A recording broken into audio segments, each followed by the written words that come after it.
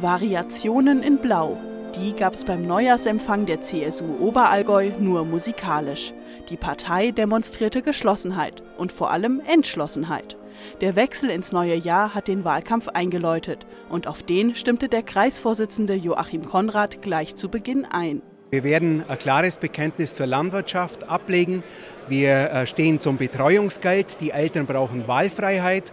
Und wir wollen nach wie vor eine Entlastung für die Leistungsträger, für die Arbeitnehmer, für die Mittelständler und auch für die Landwirte. Vor allem aber will der Kreisverband mit seinem Listenkandidaten Erik Beiswenger endlich wieder im Landtag vertreten sein. Immerhin scheinen die Wähler der CSU gerade sehr gewogen zu sein. Nach einer aktuellen Umfrage wären die Christsozialen momentan mit 47 Prozent im Landtag vertreten. Das würde für eine absolute Mehrheit reichen.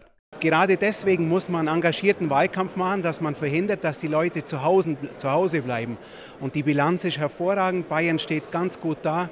Und ich denke, die CSU hat auch das Vertrauen wieder verdient, die Regierung zu stellen.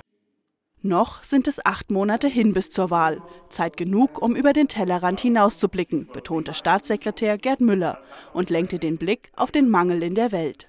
Täglich sterben 20.000 Kinder an Unterernährung und weltweit hungern eine Milliarde. Das ist eine dramatische Herausforderung. Die Sicherstellung der Ernährung für die Menschheit ist die Überlebensfrage schlechthin. Eine Frage, die gerade angesichts der wachsenden Bevölkerung gestellt werden müsse. Jeden Tag wächst die Weltbevölkerung um 227.000 Menschen. Bis zum Jahr 2050 wird es auf der Erde etwa 9 Milliarden Menschen geben. Laut der Ernährungs- und Landwirtschaftsorganisation der UNO muss die Nahrungsproduktion bis dahin um 75 Prozent gesteigert werden. Zahlen, die beeindrucken und beunruhigen. Zum Nachdenken anregen, auch dafür kann ein Neujahrsempfang gut sein.